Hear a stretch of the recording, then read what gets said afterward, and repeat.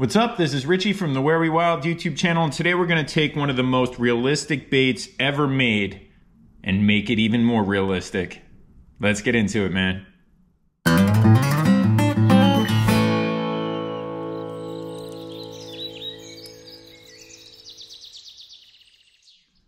Right, the Huddleston Deluxe, pretty much the greatest soft plastic swim bait of all time, made famous by the master Butch Brown, and that's exactly where I learned this from. This is how he he um, modifies them and, and, makes them look even more realistic. I may not do as good a job as him because he is an absolute animal, but uh, I'm gonna do my best. All right, so you're gonna need a few things to do this. You're gonna need an X-Acto knife, some sort of razor blade. You're gonna need a pipe cleaner, some scissors, little super glue, maybe some tweezers. And uh, you might possibly, one of the techniques uh, requires a lighter, but you can probably get around that. We will see. All right, so the whole point here is we're gonna add the gills here. We're gonna pop these fins out, make it a little more realistic. So let's try to get it done fairly quickly. And we're gonna start off here. You'll see a V-shape gill pattern underneath this. And we're basically just gonna start there, cut all the way around, start there, cut all the way around, and then cut these fins out. Add in the gills. And uh, that's pretty much it, man. So let's get going here. Brand new Huddleston, baby. I'm nervous. I hate cutting into these things. They're they're not cheap. They're not cheap.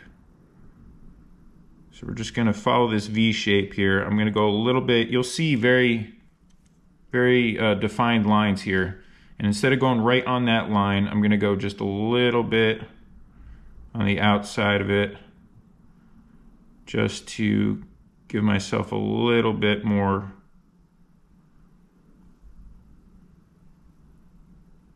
room. And I'm just kind of running it right along the outside there.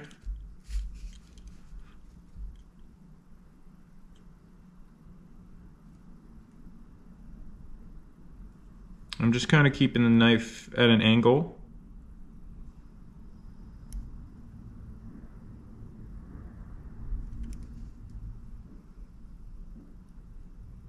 Just running it up right to the end of their line there. Just like that. So it's just kind of cut open. You can see that. Do the same thing on the other side. Just gonna find my line here.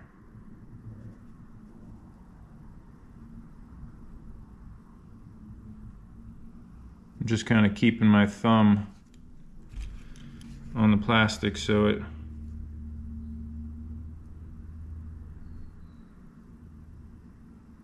kind of stays in place.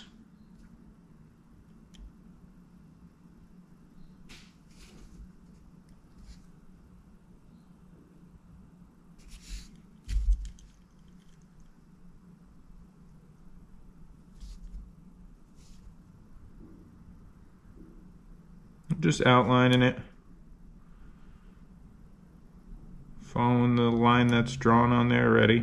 Makes life pretty easy just like that. okay, you see how that's all, all open now? And then we're gonna take the fins, take rid of that, and we're just gonna outline those as well. Start with the top here, a little outside them, kind of give it a little, little bit of room up front. Leave that front part of the fin start just a tiny little bit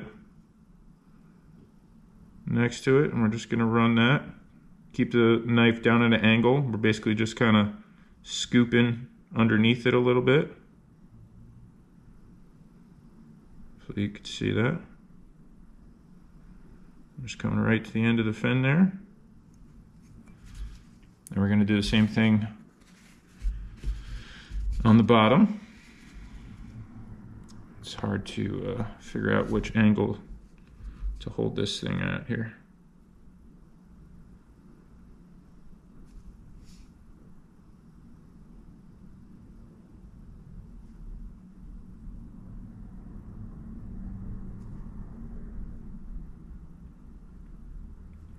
And I'm basically just trying to push this knife through it instead of sawing my way through it. Seems to work pretty good that way once you get going. All right, so you see how that just kind of flaps open like that? So we're basically just gonna scoop underneath with the knife and just gently detach that fin so you can pull it up like that. And now once you can pull it up, you might have to go underneath it just a little bit and just take a little bit, a couple more cuts. Like that so it can flap out. One more should do it. That's good. Nice. Same thing on the other side. Start with the top.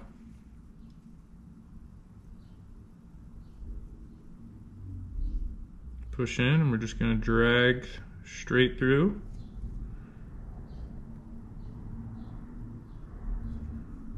And I'm trying not to push like too, too deep. Just deep enough.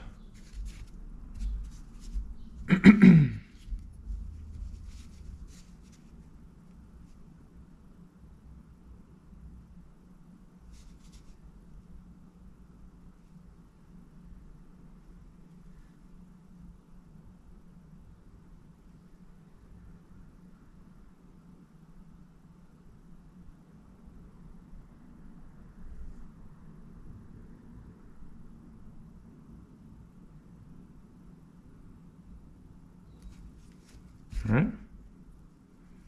So it just flaps open like that. Oh, that one I didn't even have to cut. Just take a tiny little bit more as I pull this thing back. Just like that.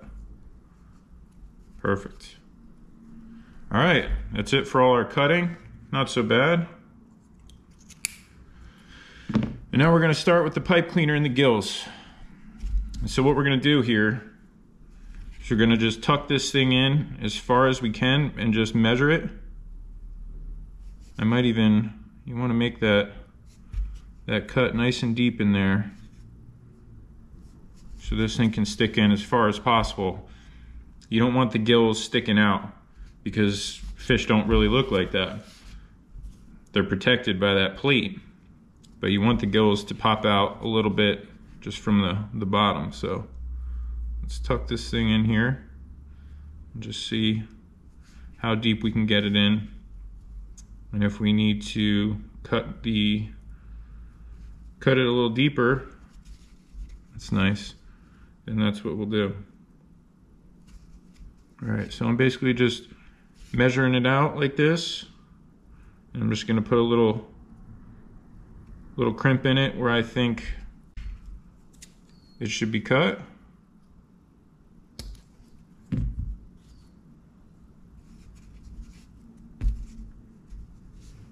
Let's just roll that thing back in there. I'm trying to give you a good view of it, so it's kind of hard for me to see the front there. It might still be a little too long here.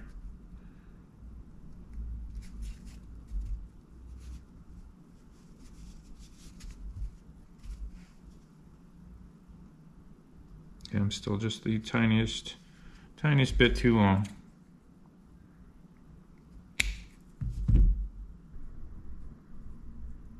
Actually start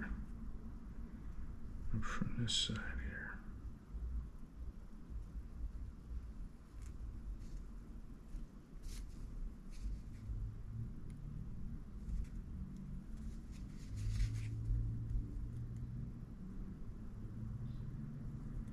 There we go. That looks pretty darn good. Just the tiniest little bit sticking out. Just want to get that pushed in as much as you can. All right, now there's there's two ways to go about this next part here. That looks pretty pretty awesome. Right there. Now you can either glue this in as you're placing it, like I as I was just placing that in there. And then you can take a lighter and you can open it up and singe the inside of that because when you do that these pipe cleaners, they turn a dark red and they look wet and they look even more realistic, which is pretty awesome. Or you could just drop super glue in and that'll make it wet and also get it to stick in there nice. So let's try that. It's kind of hard to do it with the lighter sometimes because you can very easily melt the soft plastic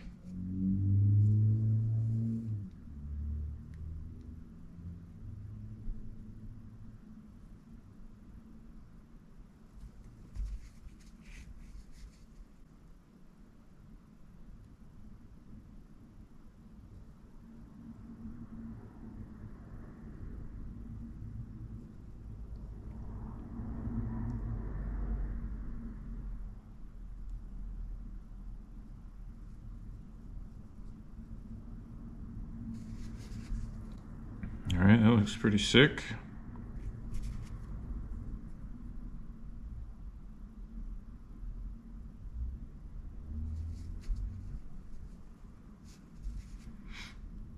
See, it just kind of gives it that wet, more realistic look, if you can see that. Pipe cleaner is usually really fluffy, you know what I mean, and dry looking. So when you cover it with the super glue or you glue it in first, smack it with the lighter, and it's gonna give it that, that real kind of wet, realistic look, which is what we want.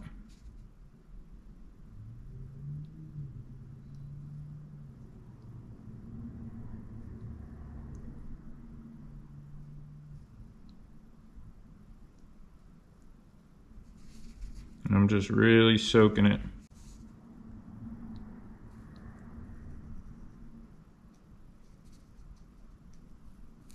Just like that.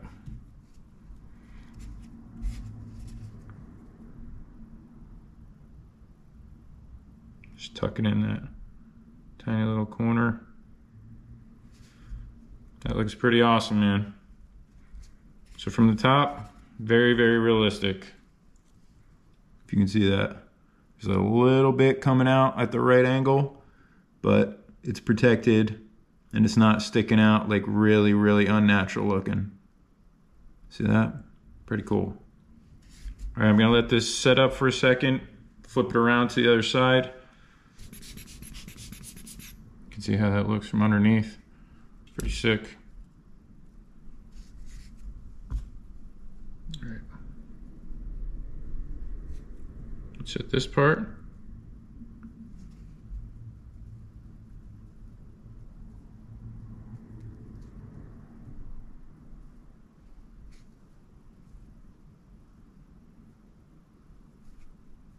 Just measuring.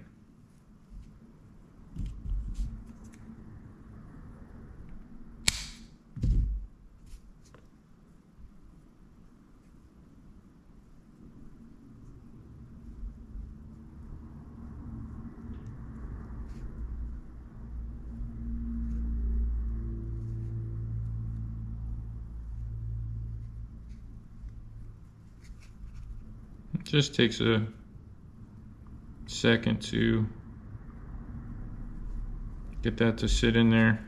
See what happens? Like if you don't push that in all the way, it pops out and looks like that. But you want it tucked.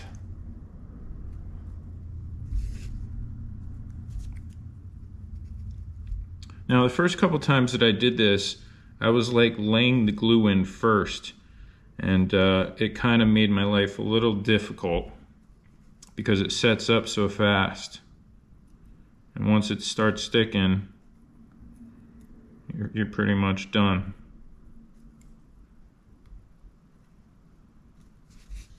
All right, I'm happy with that. That looks cool. All right, so we're just gonna run our glue.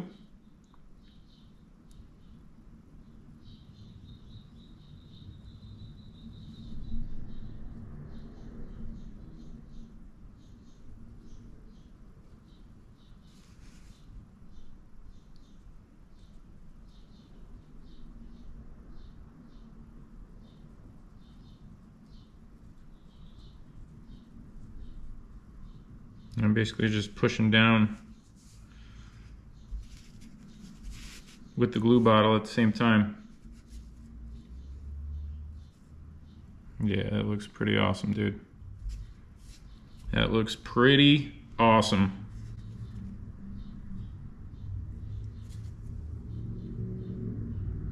Just tuck in this tiny little bit right here.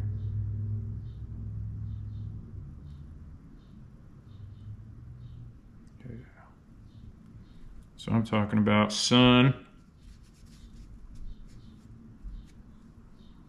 Yeah, that's sick, dude. That is sick. And you can see how it looks from that side, from the outside angles. It's pretty awesome. Nice and tucked in, but right at that right angle there, you can see what's going on inside. This looks like it's getting set up a little bit.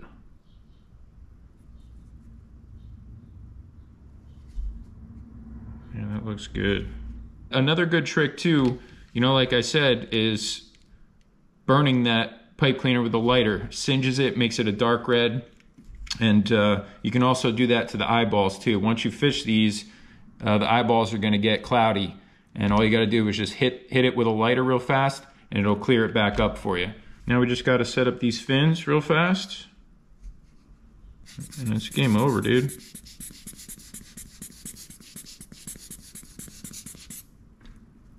So what we're going to do here is all you're doing very simply is you're just flicking these open. You're going to just put a little bit of glue right at the base of where that fin sits. Just a little bit.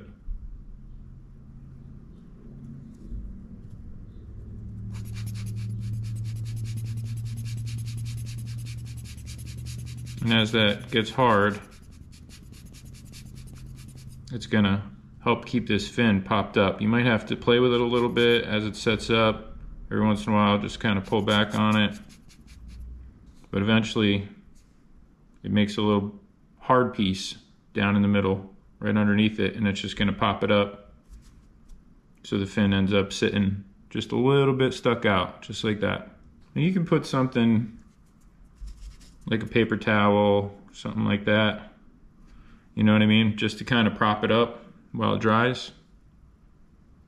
But that's really all it is. We're gonna do the same thing on the other side.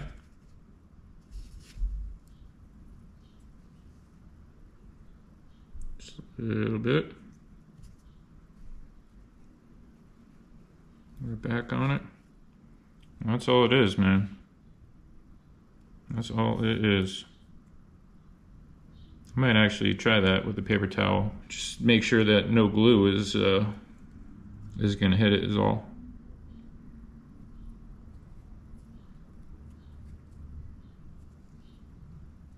Just might help as it sets up.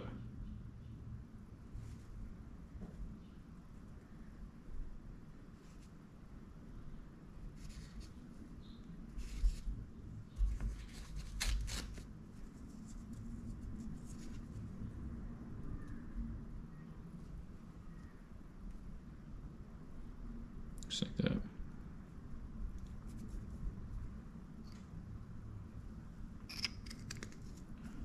All right, just gonna let this glue dry up a little bit and uh, a couple minutes, show you the final product here. All right, so we're all set up here. Everything looks really, really good.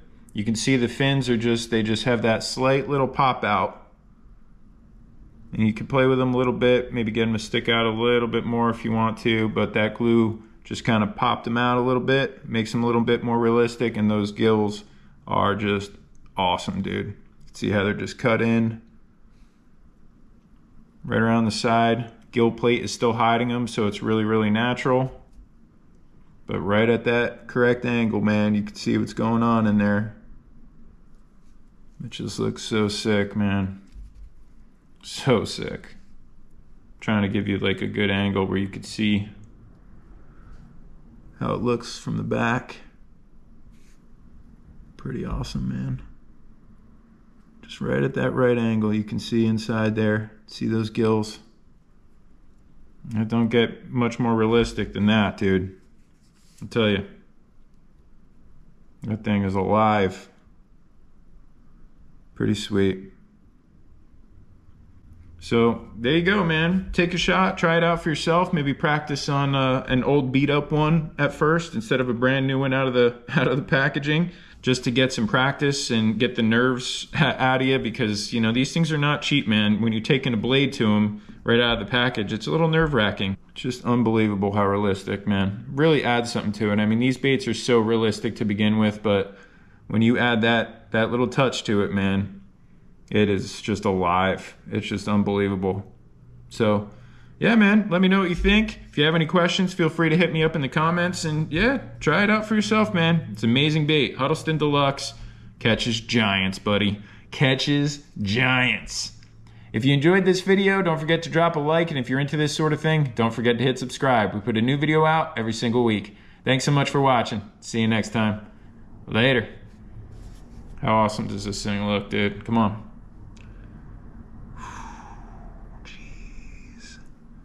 That is just ridiculous. Ridiculous, man.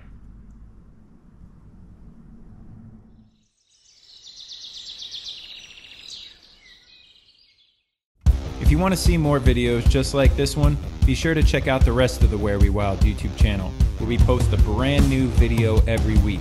And don't forget to subscribe and hit that bell icon so you get notified whenever we post a new adventure. Thanks for watching. See ya.